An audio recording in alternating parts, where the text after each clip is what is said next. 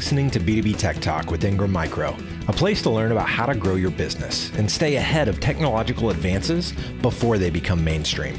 In today's episode, we're introducing a new business and technology minded series brought to you by Ingram Micro's SMB Alliance community called As the Gears Turn, hosted by two Ingram Micro SMB Alliance council leaders, Mr. Devin Biddle and Mr. Patrick Cash, both successful MSPs and both ready to call the business of IT as they see it. So, with that said, let's make it happen. Welcome to As the Gears Turn. Welcome to another episode of B2B Tech Talk with Ingram Micro's special As the Gears Turn edition. We're your hosts, Devin Biddle from Computercations out of Frederick, Maryland. And Patrick Cash from Blue Store Networks out of Atlanta, Georgia. Today we are joined by Mark Romano, the Senior Director of Worldwide Channel Marketing, and Corey Nachreiner, security guru and CTO of WatchGuard Technologies. Mark, Corey, welcome. We are excited to have both of you with us today. Yeah, thank you, Patrick and Devin. It's a pleasure. Thank you. So, Corey, every year WatchGuard releases their cybersecurity predictions for the year. It's typically a mix of thought leadership and an overview of security threats focused to both the business and consumer audience so they can have a better view of what to be aware of. This year, you're predicting that cyber criminals will find new and innovative ways to attack individuals, their homes, and specifically their IoT devices in the home with the ultimate goal of finding a path to their employer's corporate network. Tell us a little more about the top three to four things that we should be aware of this year. Sure. Yeah, we had a lot of predictions, but there was a, a big theme on uh, how attackers might go after remote workers, that home connection that still has a connection to the office. So, to give you one example, one of our predictions for 2021 was hackers will infest home networks with VPN worms. And a lot of that prediction is stuff that's happened before. So, if I unpacked it a little, first, if, if your listeners uh, know security in tech, a worm is a specific type of malware that spreads automatically on a network. So once you infect one victim, a worm can kind of scan the network and either leverage vulnerabilities or stolen credentials to also try to infect other devices on the network. Now, home computers are always targeted. Home computers do get malware already, and sometimes home computers have got malware that has worm capabilities. But what's really new in this this prediction is notice I said VPN worms. So one of the things, you know, when malware infects your computer, it can quickly kind of check out the system it's running on, get some information about it, and that includes finding some of these VPN adapters. When you install a virtual private network, you know, the secure way you connect to your office from home. They leave a virtual network adapter, and there's some routing information that ties to the virtual network adapter. So if attackers targeting home networks are smart about it, they can actually create a, a malware for home computers that looks for VPN connections. And when it finds a VPN connection, which is typically a private network to your office, it can then use worm capabilities to spread over that VPN to the office. So that's one of the predictions. Didn't know if you had any questions there. I can go into the other three. I, go ahead. Uh, yeah, I do. I, I do want to follow up on that. So with that, what do you see as one of the best ways of protecting? I mean, there's a lot of different ways we could protect that, but what would be one of the best ways we could protect against uh, a VPN worm? Well, the first thing is you just don't want the malware in the first place. So, uh, obviously, all of us, when the pandemic started, luckily it seems to be lightening up and maybe people will be returning to their office. But when it started, we all had to make sure our endpoints were protected. And I'm guessing a lot of endpoints, you know, a lot of office laptops do have things like basic antivirus. But the truth is, nowadays, you need what I call a modern EPP or endpoint protection suite. And this is a suite of software that not only is antivirus, but it has more next generation endpoint protection. It b- proactively blocks malware, not just with signatures, but using things like machine learning and behavioral uh, identification of malware to catch new threats. So it's much more advanced anti malware than traditional signature based antivirus. And the other thing that EPP suites tend to come with is something called EDR, endpoint detection and response. And EDR is slightly different than your typical anti malware. You know, mostly antivirus, anti malware wants to block malware from even getting on your laptop or device, uh, which it does decently. But nothing is perfect. EDR is kind of looking for this next level of evasive malware that might make it onto your end, endpoint, but still leave signs of malicious activity, whether it's processes, fileless malware, living off the land attacks still have to do things on your endpoint. So EDR can help detect that and then remediate it, clean it up. But the point is, you just want to avoid this malware getting on the endpoint in the, the remote worker endpoint in the first place, and then you don't have to worry as much about the VPN. And so the, this short takeaway is transition from signature based AAV to more next generation EPP suites that include all of the things I just said, plus sometimes a little more. The other thing to do is VPN is excellent. It's a good secure way to connect to to your network, but you got to realize that OpenVPN, one that's connected by your user, is also a backdoor.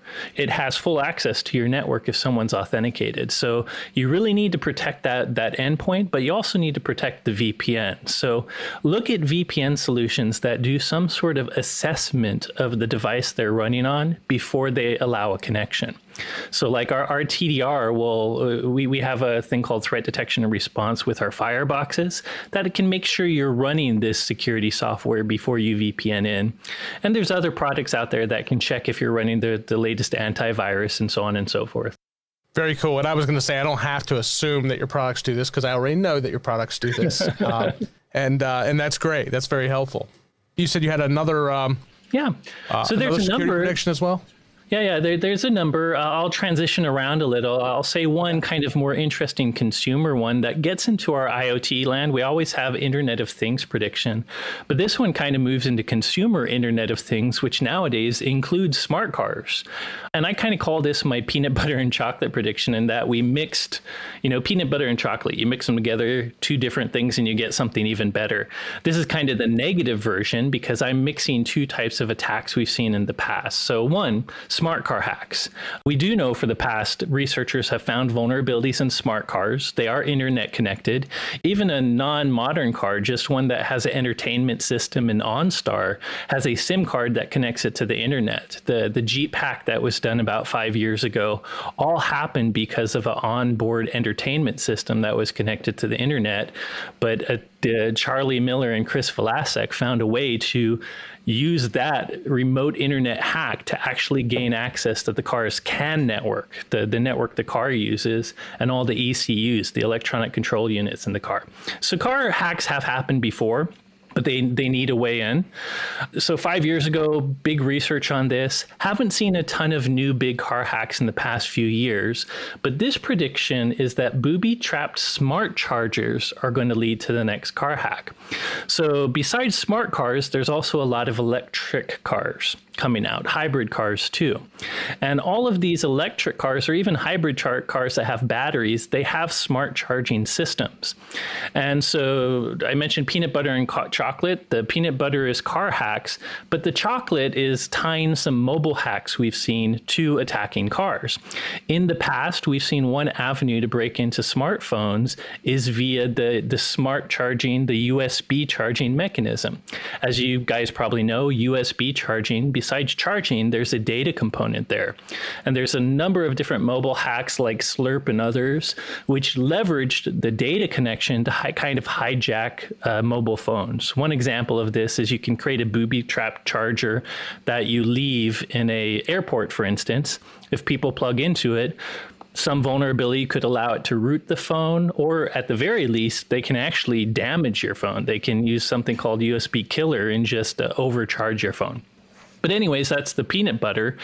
And what we're saying is because smart chargers, smart cars that are electric, have this smart charger. And while it is charging your car, there is still a data component there that's there to protect and manage the charging. It's more complicated than just charging a normal battery. So while it's not like full file transfer the way USB is, that data component we believe might lead into the next smart car hacks. You know, some people that have electric cars have this charging server at home. There's been some preliminary research where people could actually use a server vulnerability to gain control of that charging server and do things like prevent the, the car from charging, damage the battery, et cetera, et cetera. So we just think that the smart charging component of smart cars might lead to the next smart car hacks. And who knows, in five years, you could see something like ransomware. You get home and your car charger says, if you don't pay $300 of Bitcoin, you can't charge your car. That's, that's uh, the that's last thing I want yeah. is, you know, I can't, for now I can't get gas and then eventually I can't even charge my car. Yeah. It's like, gracious. It's... I can get gas fine though. I, I, put a lot in some Ziploc bags that I have in my garage. that's excellent. store them, store them. I'm just joking by the way, kids. Do not do this at home. Yeah, that's right. nice. So the Q4 2020 security port was just released. And, you know, I mean, we've kind of already talked about this an 880% rise in malware year over year. Well, specifically, 888% rise in fileless malware, which we can talk about and define if you like. Well, well, yeah. So let's let's dig into that a little bit because you know as we're talking about securing those endpoints and you know how this work from anywhere approach is going to continue, you know, through the through the business model. Let's dig into that a little bit, if yeah. you will, Corey. So one of the stats, uh, as you mentioned, WatchGuard releases a quarterly internet security report. You can find it on secplicity.org. In the past, it's typically based on our network security product, the Firebox. We get uh, people that opt in for this. So I'd say about 12, 13% of folks opt into sending the, the, malware and attack data home. And we use that kind of threat intelligence to write this report and do analysis of the analysis of the biggest trends.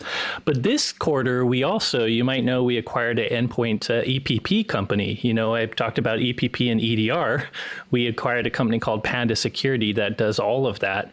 But anyways, in our Q4 2020 report, we had endpoint data for the first time based on Panda's findings throughout 2019 and 2020. So we looked at all the, the malware trends for the past two years. And one big statistic that stood out to us is fileless malware rose 888%. So I'm, I'm sure a lot of the security practitioners that listen, you guys know what fileless malware is. I threw out another term before called living off the land. It's, it's really the same thing. There's this two, new type of malware that is trying to get past security controls. If, if you think like a threat actor, like a bad guy, traditional malware is meant to be persistent. If I can gain execution control on your computer, I want to put something there that stays there forever, you know, if I get my best wishes. Something that stays there, that boots up every time you boot your computer. And that's how decades ago filed F I L E D malware was born. It would leave a file on your computer. It would adjust registry entries or in Linux schedule a job or, or, or do other startup files to get its malware to consistently stay on your computer and be persistent. Obviously, that's good for the attacker because he can stick around. What's bad for the attacker about that traditional malware is if you think about it, most of our endpoint security is looking for bad files and looking for registry entries. That's what malware detection, you know, signature based detection is all about finding signatures and files. So when I say living off the land attacks or fileless malware, this is a type of new malware that tries to leave no file footprints on your computer. Rather, it executes somehow from script. It could be PowerShell. You know, Windows comes with PowerShell, very powerful scripting language that administrators use all the time. But if I get a privileged account on your computer, I can use PowerShell to do anything I want on your computer and network. So really, fileless malware is just this this type of malware that uses usually some sort of vulnerability to get in, and then uses scripting languages like PowerShell, JavaScript, ActiveScript, anything it can, normal tools on your, your operating system to retain control of your computer. And by doing it in this fileless way, it kind of evades legacy endpoint detection. This is where you need things like EDR that detects suspicious process activity, weird things happening. Anyways, the statistic was fileless malware between 2019 and 2020 rose 888%. And really, the takeaway here is we're seeing attackers transition away from filed malware, the traditional, easier to catch stuff, to this much more evasive, living off the land or scripted fileless attacks. So, if you don't have the type of uh, endpoint protections that are looking more about strange processes and less paying attention to just files, you may not be able to catch this fileless malware as well. I think it really is that next generation EPP, the thing that has endpoint detection and response or EDR. Long story short, whoever your, your endpoint anti malware company is, WatchGuard, if you go with our AD360 or soon to be released WatchGuard Endpoint Security, you have a really strong mix of many malware detection capabilities. We use signatures, but we also use machine learning.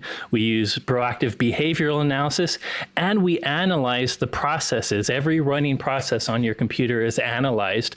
We even do fancy nerd stuff like looking for memory injections and, and other ways that bad guys start fileless malware on your computer. So if you're using any sort of endpoint security that has that modern next generation capability, you're as protected as you can be. But you should specifically ask whoever you trust for, for endpoint protection whether or not they're able to detect fileless malware or living off the land attacks, because that really seems to be where advanced attackers are going. And I can tell you anything that's a legacy signature based antivirus that's just looking for patterns and files, that's going to miss the living off the land attack. So just just ask your your endpoint vendor if they have it. WatchGuard definitely does. And if they ta- start talking about things like EDR and stuff, chances are they are also looking for this type of malware too. So the EDR product then just so I can clarify here, that also incorporates the old style of, of detecting the the. Uh, yeah, I would say the, the, the EDR is the new stuff, but what, what WatchGuard sells. So I'll tell you what WatchGuard does because it's the easiest way. Is our, our, most popular endpoint product right now is Adaptive Defense 360, and Adaptive Defense 360 starts as what analysts call a EPP endpoint protection product, but it includes a suite, and one of the critical capabilities. So so endpoint protection to answer your question question, yes, to give you endpoint protection, which is basically anti malware, malware detection, a lot of next generation companies use many techniques. For instance, we still keep signatures around. It catches only a fraction of the malware, but it's quick. It quickly catches the noise. But then we also use cloud assisted uh, technologies to use machine learning to more proactively catch brand new files and to put things through behavioral sandboxes. So the EPP, think of EPP as preventative malware detection. Its goal is to get the malware to not even to pre execution, before the malware executes, make sure it doesn't even land on your computer. Or the second it lands, it gets deleted. EDR, which is a critical capability for EPP suites, so Gartner says any EPP vendor should have EDR included. EDR, is, eh, think of it as post execution prevention. And what I mean by that is no matter how good a, a, a malware detecting engine your company builds, it's not going to catch every single thing. There's all kinds of new evasive techniques that show up every day. So EDR is designed to catch the malware that does run, that somehow gets executed on your computer or is already living there. Who knows? You could have malware in your network the day you install a new endpoint protection product. EDR is more designed about looking for strange processes running, doing unusual things. And so it's much better geared at catching fileless threats or living off the land threats. So I, I would say EDR, don't think of EDR as preventative. Think of EDR as detection and response for the stuff that might make it in, whereas the EPP portion is the preventative stuff. If you buy something like our Adaptive Defense 360, the suite includes both. So when you get the full suite, you get those two things, the EPP and the EDR. And by the way, I also talk about the suite. You get patch management, you get vulnerability assessment, you get disk encryption. So a lot of these EPP suites actually put all kinds of layers of security onto the endpoint. But for malware, the, the two you should care about are the EPP. It should be very good at preventing whether things are new or old malware. And the EDR is there to kind of catch the threats that make it in so that you can actually detect when you've been infected.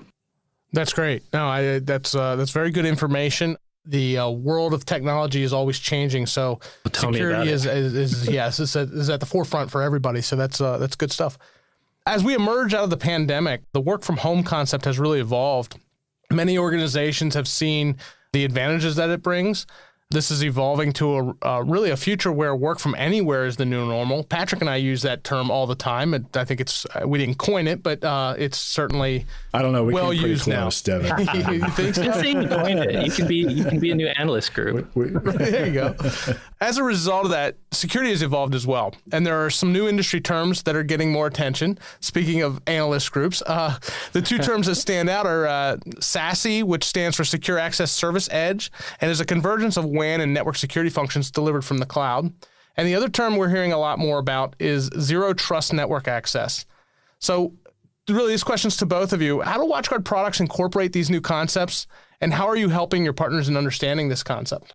So, for both of these terms, zero trust, network access, or just zero trust in general, and SASE are very much part of WatchGuard's vision. To kind of give you a definition of SASE, like a simple way to look at it is a lot of our network security is built on the headquarters perimeter. So, if you think about it, consider you're a bigger than normal company. You have a headquarters, you have 10 branch offices. Each of those 10 branch offices, that gives you 11 perimeters, including the, the headquarters. And then you have potentially all these telecommuting remote workers, which in the pandemic has, has risen at least five times, if not 10 times.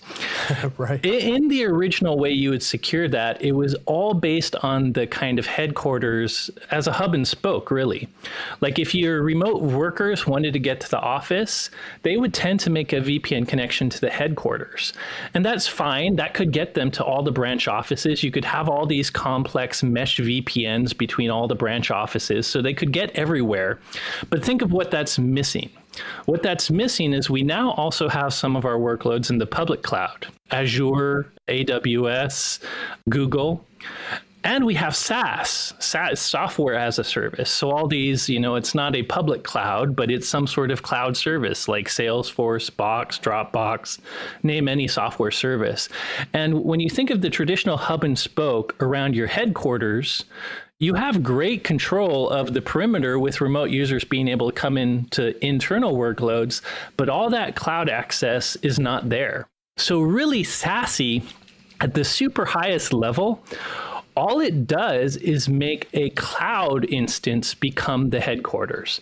If I can put the place that everything connects, whether it's the headquarters you know, Firebox VPNing in, whether it's a branch office VPNing in, or whether it's just a remote user wherever they are in the world, with or without a box, just with the agent.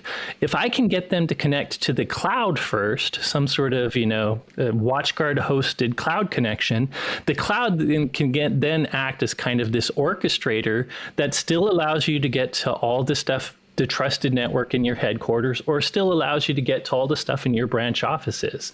In fact, I can do even more than that. I can take this zero trust approach where Mark's identity, Mark is, you know, the head of channel marketing. He definitely needs to have access to our marketing file servers and stuff like that. I can give him access to that, but maybe I don't give him any access to the source code repository in our headquarters.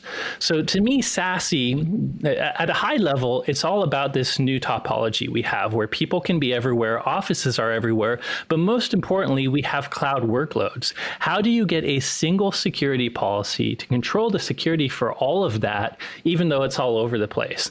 And simply by moving the connection point from that headquarters office to this cloud orchestrator that then connects to everything, you turn the solution on its head and now you have access to everything through a, a simple connection. So I hope that makes sense. That's kind of how I see SASE. And then zero trust network access is kind of the remote user version of that I just said. You know, it's kind of disrupting classical VPNs. If you think about it, zero trust network access is the exact same use case as a VPN. The only difference is typically when people have VPNs, they have a open connection to everything behind where they're VPNing to.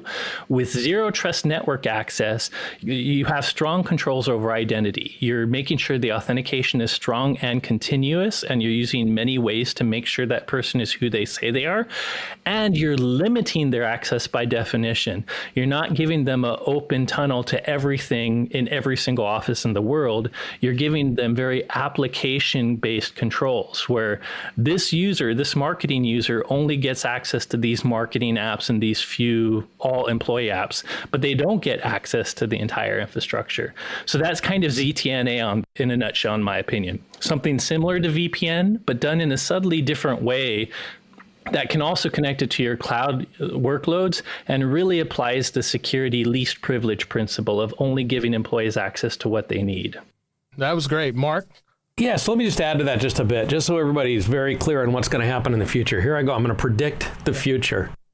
so everybody started working at home last year, and surprise, surprise, nobody was ready for this. Managed service providers, resellers, all these people got involved to help companies secure or even deliver any kind of technology out to that endpoint. I mean, it was a mad scramble to get that done because it was the only place people were able to work. About 80% of the workforce ended up working from home, working remote. There are a couple of things that were found, and there's proof points on this. A lot of the analysts have looked at this. We've done our own studies. A lot of people have kind of looked at how is the future going to look now that people are getting vaccinated and companies are opening up again. We're seeing that the workforce is never going to be exactly the way it was. There's always going to be a percentage of these people that are working from home. It could be as high as 50%. And that number is predicated on people who are going to come in the office three days a week, two days a week. The rest are going to work at home. From the company's perspective, they're okay with this. And I'll give you an idea why. People work more when they're at home. There's no commute. They tend to spend more time working on things that they plan to get done. There's less socializing that happens at the office.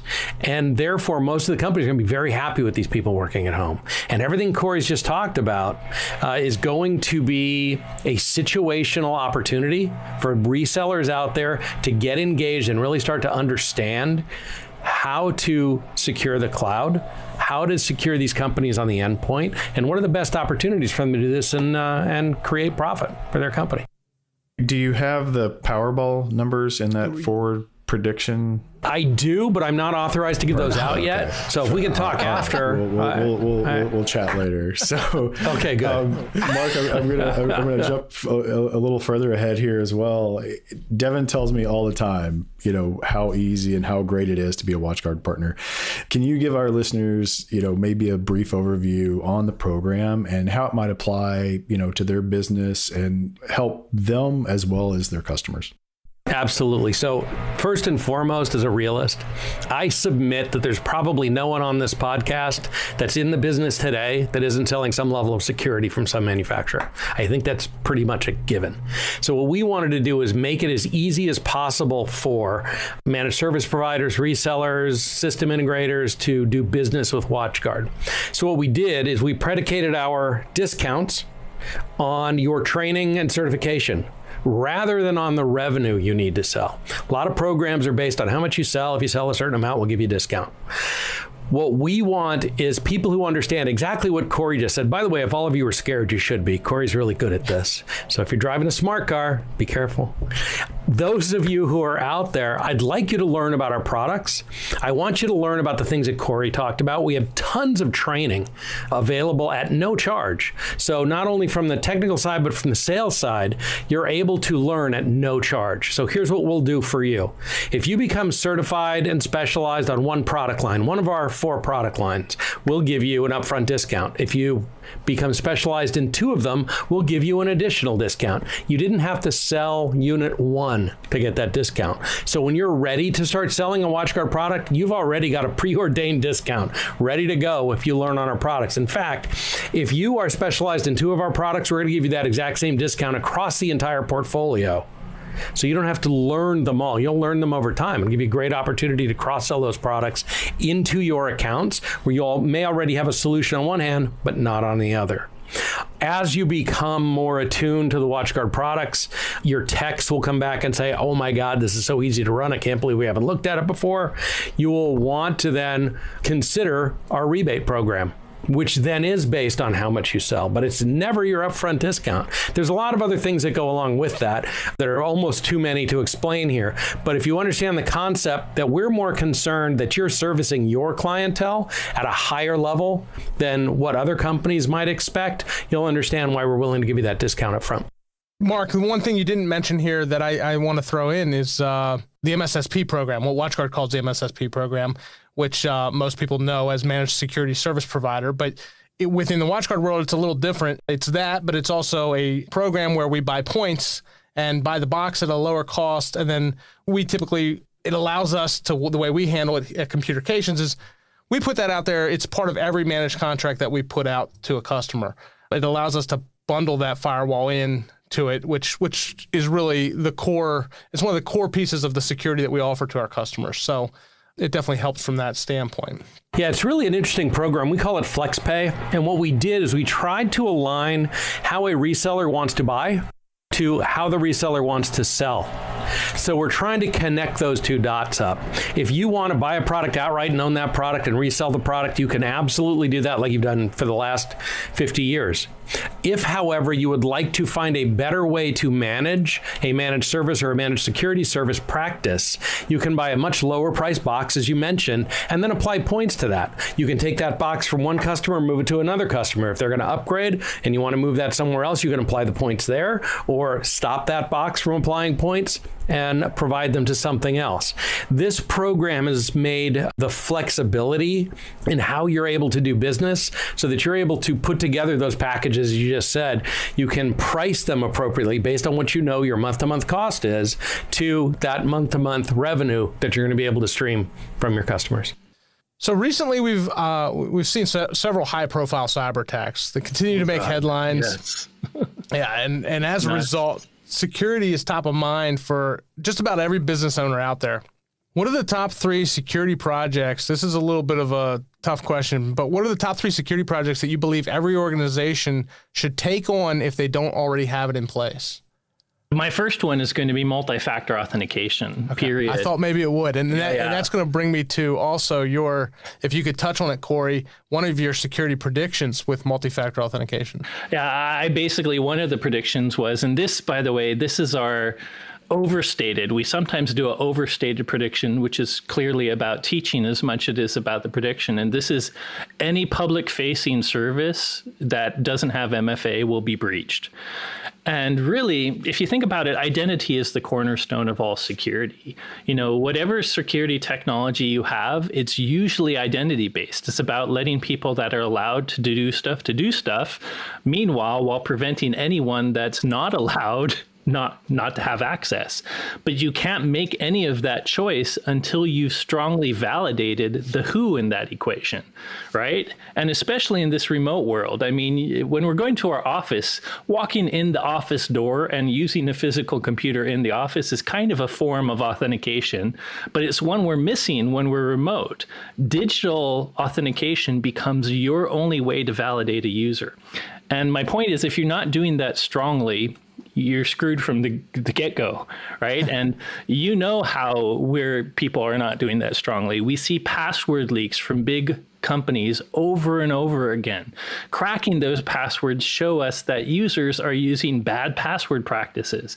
No matter how many decades we've talked about good ones, it's kind of against human nature. You know, a good password practice is to use a different password for all the 100 things you log into, and that password should be 32 random characters for those 100 things, right? It's kind of an impossible human practice unless you do something like password management. But even if you're using a password manager, to do that for you, passwords still get stolen and leaked. So the only way to really strongly validate identity digitally, in my opinion, is multi-factor authentication. I don't care what the quote unquote tokens are. Multi factor authentication is just about mixing tokens, having more than one token of authentication. For the nerds out there, authentication is, is you know, it can be uh, something you are, something you know, or something you have. Something you know is a password, something you are is a biometric, something you have can be a certificate, a mobile phone, or a special device. Multi factor authentication just pairs those. And like I said, I don't care how it pairs them. In fact, believe it or not, multi factor authentication can be easier. If, for instance, my multi factor authentication is a biometric, me looking at my phone, and a push to my mobile phone, so a, a communication to my mobile phone that I have to approve after passing a biometric, there's no password in that at all it's very easy. I just have to look at my phone and say approve.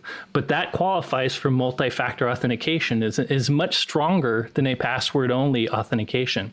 So the point is if you haven't deployed MFA enterprise wide, you're going to have issues. It's the number one thing you can do. It has the biggest return in investment. 90% of targeted breaches start with a spear phishing, stealing a credential. If you have strong identification or strong authentication, multi factor authentication, that stolen credential is not as big a deal to you because you have other factors saving you. So it can save you from so much things. Before I get off my soapbox for other things too, I, I will say one of my biggest pet peeves is I see all these surveys where 57% of the industry is using multi factor authentication. And it makes you think that a lot of companies are doing this. This is my, I, I, this is all anecdotal, but my gut feel is when you survey folks, you usually survey the IT department. And the question is, do you use MFA? And the IT department will say, well, yeah, I, as the administrator, have MFA on a few privileged accounts, and my IT guys do, but accounting doesn't tech support doesn't. You know what I mean? They say yeah. yes to using MFA when they only have a couple people in IT really doing it. So to me, you're not using MFA unless every single employee has to use it to log into their laptop. So to me, that is what MFA usage means, the entire company. And it's just so you guys know it's easy. Why hasn't people done this, right? This is the follow-up question is if, if MFA is so great, why doesn't everyone do it? And that's because of the old school feeling that it's just a pain in the butt, right? Right? It used to be really expensive servers you had to have next to your, your Active Directory server. Nowadays, it's in the cloud. You don't have to install anything at all. It used to be these hardware tokens you have to carry around and deploy. Forget that. We all have smartphones. Push authentication is so easy. Nowadays, I think MFA is easier than not having it because I log in one time. Nowadays, multi factor authentication is paired with what's called a single sign on portal. So rather than me logging into my Office 365, logging onto my laptop, and logging on to Dropbox, three separate logins, I just have to MFA to my corporate identity portal one time and then all my applications are there. When I click on them, I don't have to log in again because of single sign on. So not only is MFA easier, if you do it right, you even have to log in less than you normally did in the past. So if you can't tell, I'm pretty strong about MFA being the, the best ROI for the security you can do this year. And number one of, of the uh, projects that you would say to do. Yes, yes, number one. if, if you want to go all three. uh, yeah, I mean, give us another one I would say that the next thing is update your back uh, business continuity disaster recovery plan, BCDR ransomware, we talk about all the crazy events. The Colonial Pipeline, and my joke about Ziploc or gas is because even industrial control systems are having ransomware nowadays. And it would be less effective if they actually had backups and a means to recover from a disaster. You should have a plan to have some alternate server ready to spin up on the go if your main server goes down and your pipeline stops working. It's kind of 101, but no one takes the time to do it, right? It's always in the heat of the moment. We have all these fires we have to do. Planning for a future that you don't know is coming is seems weird, but you don't want to be in the position where you're planning during the disaster. So nice. really invest some time and money. Uh, and another way to say this is take the proportion of your security budget that you have versus preventative to detection and response. Detection and response is about reacting to things that have happened. Prevention is, is the idea of stopping incidents. I think most people spend 80 to 90% of their budget on prevention, and I think it should be more around 60% on prevention. And you need around 30% on this kind of disaster recovery and detection and response. Invest in tools that help you find incidents that might already be there and help you remediate those incidents as quickly as possible. Because when people, you're going to get hacked. I mean, security experts say it's not a matter of if, but when even if you have the best technology in the world, incidents can happen. So not only do you want to statistically lower the amount of incidents you have, but you need to be ready for when an incident does hit. So, Mark, Corey, we've been talking a lot of data, we've been talking a lot of reports, and we even touched on briefly in the beginning, kind of collecting some of that feedback from the Firebox appliances. You're, you're getting some of this data back from you know endpoints and, and customer environments. So how does WatchGuard incorporate all of this feedback and, and apply it going forward? So, if it's more about the threat intelligence, I mean, uh, for the report we do, the type of threat intelligence or, or, call home data you opt into isn't actually a whole lot of information about you, your network, or, or your employees. It's mostly about uh, threat hits. So we track things like uh, we have three different anti malware engines on a network level. We track the hits globally. You know, what malware is out there, what's being hit. IPS intrusion prevention, we track the type of network attacks we're seeing. So, to give you an idea of some trends we've seen from all of 2020, really starting Q2 when the pandemic hit to now, we've been tracking malware and network attacks over the past five years. And starting Q2 of 2020, what we saw happening was at the network, remember, this is our network data, not our new endpoint data malware was going down. And what that tells us is the attackers are not targeting network perimeters with malware. This correlates, by the way, to the endpoint data we do have. We are seeing malware go up at our new Panda Adaptive Defense 360 endpoint. And that shows you from a malware perspective, hackers are following the user. To install malware typically is phishing emails or something that requires user interaction, tricking the user. So it makes sense that as people started working from home during the pandemic, malware would go down at the network because it's following the user home. Now, the flip of that is you still need network security, though, because another weird trend we saw during Q2 all the way up to Q4 of 2020, last quarter, where we saw network attacks going up. Network attacks, by the way, are software vulnerabilities targeting the services we expose. If you're in office, you have an email server, a web server, all kinds of servers. You may have that in your office perimeter. You may have that now as a cloud workload where we have a cloud firebox protecting it. Those attacks going after network services, they didn't go home with your user. Your network services are still at the office in the cloud. So those attacks going up make sense because the attacker still wants to, to gain control control of any, you know, organizational equipment. So your question was how do we use that data to kind of plan? And this is kind of an example. We watch the trends as malware goes down or network attacks go up. We're like, why is this happening? Is this because and then of course our conclusion was the pandemic and that leads to product management, right? Okay, more people are going to work at home. Like Mark said, we expect people to continue working from home even when the pandemic ends.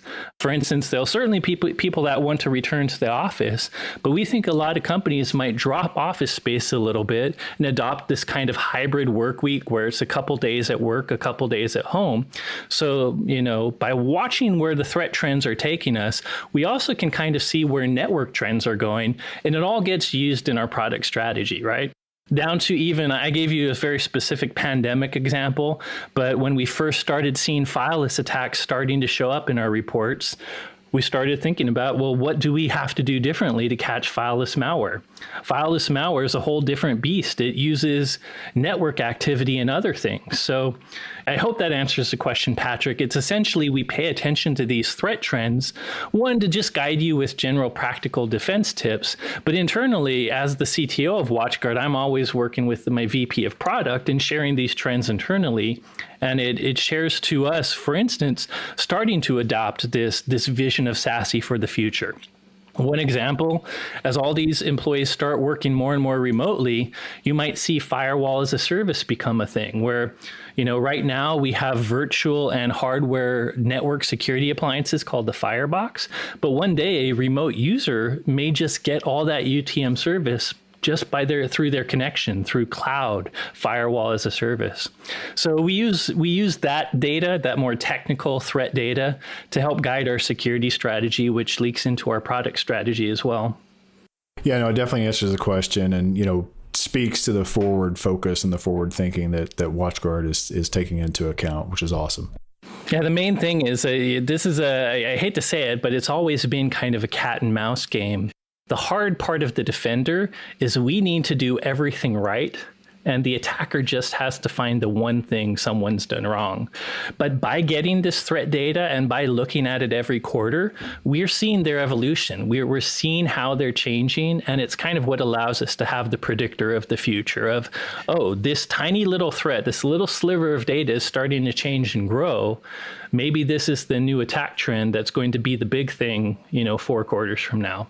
So we really use it as a leading indicator of where attackers are going. So, Mark and Corey, uh, one thing we want to we like to ask everybody on the podcast, and we've been asking everybody is, and, I, and we've get we get a lot of good answers. Is so I'll ask each of you this: Where do you both see technology going in the next year? I'll jump in first, because Corey's going to have some great whiz bang story for you. And I want to end with that one. Where's technology going? It's sure. going nowhere backwards. That's where I can tell you technology is going. It is going to permeate into everything you're doing in places you're not even looking yet. And every single one of those is going to be a vector for some kind of a hack for somebody to go in and attack either your personal information, your business information, or anything in between. As Corey stated, you know, we have cars out there that are now connected to the internet simply by plugging plugging your phone into a charging unit at the airport. Heck, connecting to any kind of Wi Fi anywhere in the world, you just opened yourself up for a potential hack. The technology is going to still continue at the pace that it's going. It is going to be secondary to these security aspects in order to drive that technology forward. And it's going to be essential for companies like WatchGuard and for managed service providers and managed security service providers to ensure that they are there to pick up the pieces when the new manufacturers of new technology didn't focus on the security aspect. I actually don't think I have much whiz bang. Everything Mark said is true. Uh, we gloss over this kind of new buzzword term IoT, but it's so true. Technology is everywhere. I, am a nerd. I, I, think technology is is awesome sauce. I think it's one of the coolest things, and it helps humanity. But it's all, all also benign. It only helps humanity when humans help ourselves with it. It can hurt humanity too when you have bad actors. And an example I use is I like VR, virtual reality. You know, some people think it's niche. I think it's going to blow up along with AR. I have this really cool VR VR headset that's wireless. I can be in different worlds. Uh, by the way, telecommuting, I can actually have physical presence with hand movements and write on a whiteboard.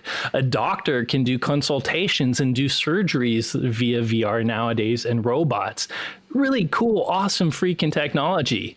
And yet, this wireless headset has four cameras that are 3D mapping every room I'm in. And my headset won't work unless I connect it to Facebook. And hopefully, right now, Facebook is not taking the 3D maps of every place I use my VR headset and putting that in its big data.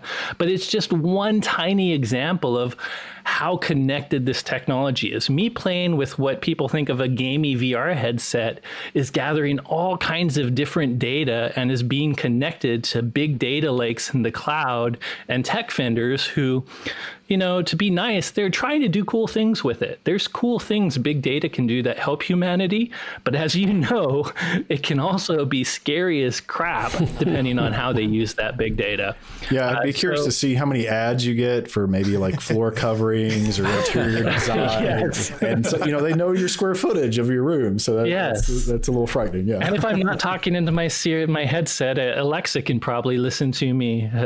everyone True. had that thing where they had a conversation with their friend and wondered why they suddenly got a Facebook ad. Doesn't Facebook uh-huh. say they are not listening? Anyways, uh, hopefully Big Brother is not doing all this scary stuff right now, but they have in the past, and and you can see as more and more. And what scares me about these IoT devices is they're hidden computers, right? You don't think of your little Furby toy as an IoT device, or you don't even think of this v- VR headset that looks like just this wireless gaming thing as a full blown Android based computer that can be used to hack the rest of your network too. But it is. So I think Mark's right that the need for security is just going to grow as all these hidden computers show up in every little thing we purchase and have. I'll throw out something fun, by the way. I don't know if uh, this is a kids movie, so maybe you need a kid to have a. But right, right now, Netflix has this cool animation movie called Mitchells versus the Machines, where a smart mobile phone becomes uh, goes through a singularity and takes over the world. Joking, funny movie. I recommend it highly but it's it's really exploring kind of the dark side of where technology can take us to if we're not careful. But I, I, think that's what vigilant security companies are here for. That's why MSPs are there to help their customers. So I don't really think it's going to be a dark future. I think the good part of technology can win out, but we do have to be very, you know, vigilant about how we adopt and use it. That's good to know. I feel I feel better already. Don't you? Yeah, exactly. Exactly. the good guys are going to win. So yes, yeah. well, we'll take out the AI robots eventually. Right there you go. so, guys, we've talked about a ton of information today, which is awesome. Uh, where are some areas? Uh, you know, Corey, I know you've got a podcast um, that that gets produced. Where's where's some things that we can find more about what we talked about today? Well, yeah, for just general security education and topics, I highly recommend you check out secplicity.org. That's S E C P L I C I T Y.org. And that's WatchGuard's security simplified blog. It includes everything I've talked about. For instance, we run the 443 podcast, but you'll find a link to the 443 podcast there.